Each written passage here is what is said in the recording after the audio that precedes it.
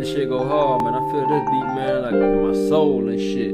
But fuck it. I'm just gonna have a good time with this shit tonight, girl, for real. Like, girl, just pass me the blunt and pour the liquor in my styrofoam cup.